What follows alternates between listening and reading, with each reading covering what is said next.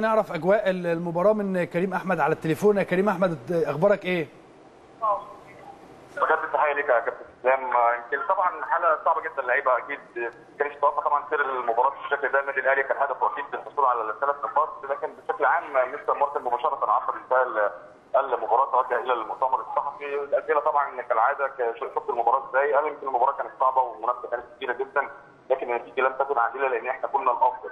في اوقات كتير حضرنا بعض الفرص وفي النهاية كمان فاز فيتا كلوب قال أنا بهني طبعا الفريق على المباراة الجيدة اللي قدموها قال لسه كمان.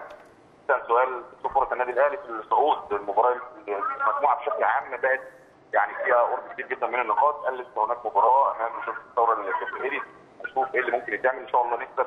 وعندنا لسه أمال كبيرة قال بالتاكيد الأمور كانت صعبه كانت مارتن مارتن قال بالتأكيد الأمور كانت صعبة.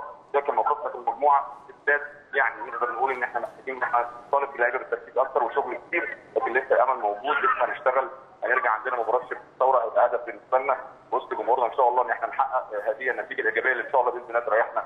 ولسه هيكون في متابعة كمان كابتن اسلام النهارده مع الجهاز الفني لمباراة شباب الثوره النهارده في مباراة الساعة 9 مساء توقيت القاهرة لكن الحالة بشكل عام أكيد يمكن اللعيبة حزينه بشكل كبير جدا الجهاز الفني مباشرة. طلع من الملعب لغرف خلع ملابس إلى الأتوبيس مباشرة. لسه ما اتحركناش من الاستاد في اللحظات دي